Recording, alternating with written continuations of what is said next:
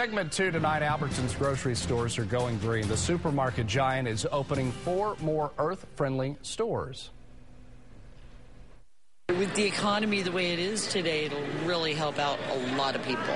This 55,000 square foot green supermarket is designed from top to bottom to save energy. As a retail supermarket, we've measured our carbon footprint, and over 62% of it is electricity. The largest energy saving component is this 400 kilowatt fuel cell. It produces 90% of the power used by the store. They were going to take the heat expended from the freezers and reuse it so that it was going to be more efficient. I thought that was really cool. Long gone are those bright, energy draining halogen lamps. Here, highly efficient LED lighting is used throughout, including the dairy and frozen food areas, which reduces energy consumption by at least 50%. We have over 32 skylights in this store.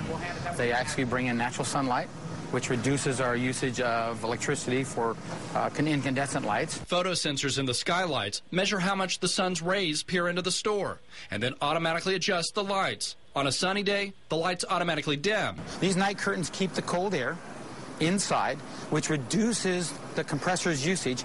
We save 25% energy by having these down each and every night. Water saving faucets and fixtures in the restrooms reduce usage by more than 45%. Owners want the store to be a model for the future. We need to continue to, to look at costs to keep our prices low. The more we work on this as a company to reduce our costs, the more we're going to be able to offer to the customers better prices every day.